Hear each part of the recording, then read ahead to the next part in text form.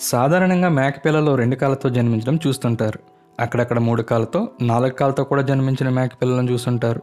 కానీ ఈ మేకపిల్ల మాత్రం ఏకంగా ఎనిమిది కాళ్ళతో జన్మించింది. ఇలా జన్మించిన మేకపిల్లను చూసేందుకు జనాలు ఆసక్తి చూపుతున్నారు. పశ్చిమ బెంగాల్లోని నార్త్ ఇరవై నాలుగో పరగణ జిల్లాలోని కల్మేగా ఏరియాలో శుక్రవారం ఓ మేక రెండు పిల్లలకు జన్మనిచ్చింది.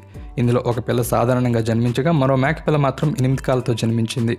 అయితే ఎనిమిది కాలతో జన్మించిన మేకపిల్ల ప్రసవించిన ఐదు నిమిషాలకే చనిపోయిందని యజమానురాలు సరస్వతి తెలిపారు.